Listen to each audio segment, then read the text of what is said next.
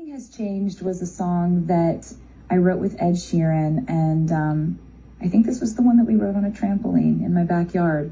How cute is that? He is a friend that I will just cherish forever, and looking back to the phases that we were at in our lives back then, you know, we were, it was shortly after this that we went on tour together. We had so many hilarious times.